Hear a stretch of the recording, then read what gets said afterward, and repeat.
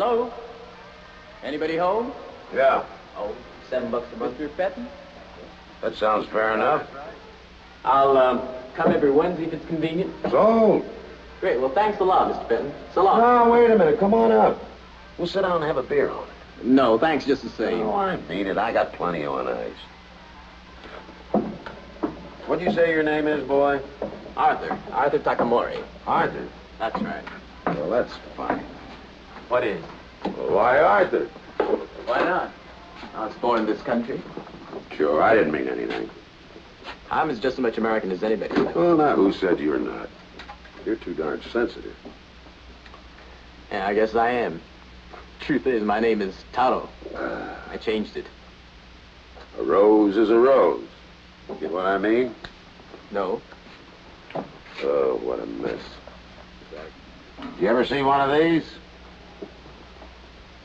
Yeah? It's a genuine samurai sword. Not a fake like most you see around. I took it off a Jap officer who tried to cut off my noggin. There's something engraved on it. Maybe you can translate it for me. Sorry, I can't speak any language but English. Oh, come on, boy. My mother spoke Japanese, but me, I never learned.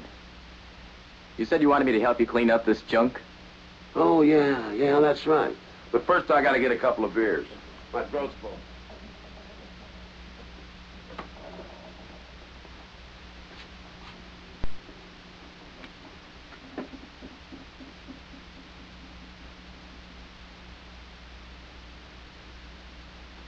I'm gonna kill it. I'm gonna kill it.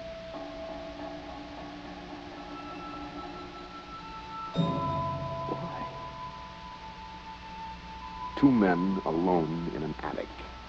A young Japanese American and a seasoned veteran of yesterday's war. It's 20 odd years since Pearl Harbor. But two ancient opponents are moving into position for a battle in an attic, crammed with skeletons, souvenirs, mementos, old uniforms, and rusted medals.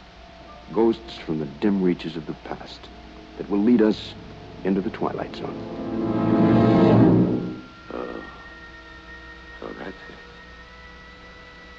You're just trying to scare me. All right. I'm scared. But not of dying. Of living. I can't make it, Arthur, or Taro, or whatever your name is. There's nothing left. Nothing. I've got a box full of decorations over there. Decorations! First you're an ape. And now all of a sudden you're you're some kind of highly cultured people. I've been pushed and pulled this way and that way until I hate everybody. You dirty little Jap.